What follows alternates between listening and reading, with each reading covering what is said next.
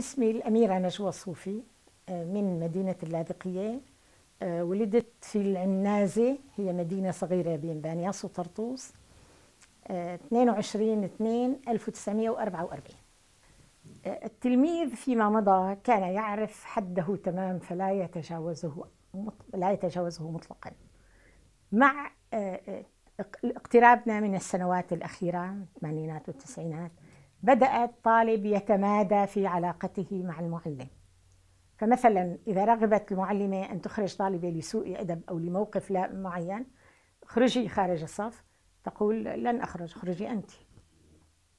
فقد تدرجت الأمور حتى وصلت إلى أن آه، أي طالب له صلة آه، له صلة بأحد الناس المدعومين أو الداعمين. يمكن أن يتجاوز حده مع المعلم حتى وصولا إلى الضرب. وهذه الأمور لم تحصل دفعة واحدة وإنما جاءت بالتدريج. والأمثلة كثيرة في اللاذقية خاصة. لأن في لأن اللاذقية تحوي كثيرا من الناس ذوي النفوذ والأثرياء جدا وذوي المواقع السياسية الحساسة أو المفصلية.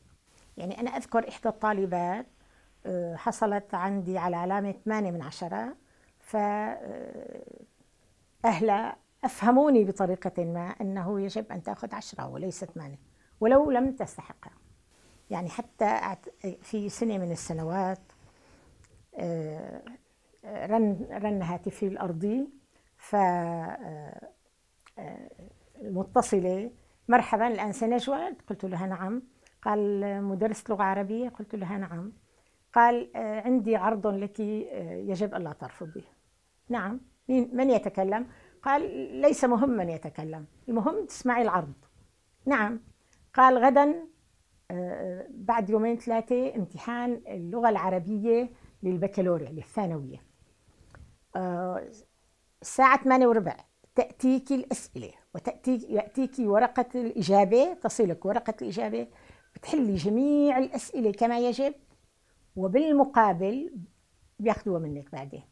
بالمقابل بنوقع لك شيك على بياض. أي مبلغ بتريديه بتاخذيه فاستطعت أن أتخلص ولكن رأيت من هذه الزاوية مجالا للفساد ولحصول الناس على ما لا يستحقون. وآخرون يبحثون بأظافرهم عن العلامه الواحده